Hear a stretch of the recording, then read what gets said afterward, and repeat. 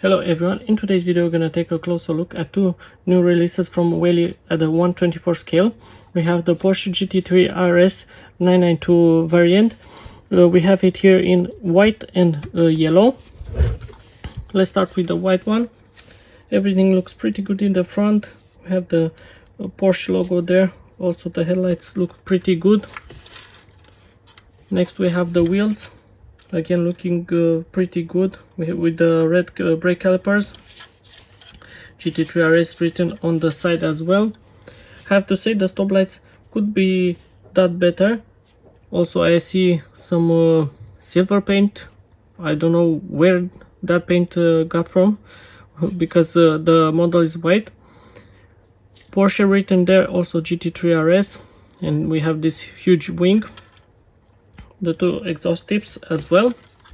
Underneath the model not then many details. Only some here in the back. Let's open the bonnet. There we go. Again not that many details. But we have the uh, cuts in the bonnet uh, so it's a nice uh, uh thing that uh, Welly has done. Let's check out the interior as well the interior looks pretty good.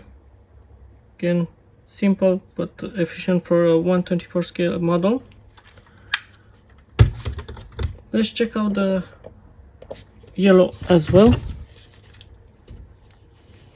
Again in the front everything looks pretty good. We have the same wheels. I would love to have a, a different uh, color of the wheels but this is just my opinion in the back. Everything looks pretty much the same. And also the interior is mostly the same. I think it's identical actually as you can see. Tell me in the comments which one would you choose? I think i'll go for the yellow one. I think it looks much much better. I would love some uh, different uh, wheel uh, color but that's what it is. Also don't forget to subscribe to the channel for more videos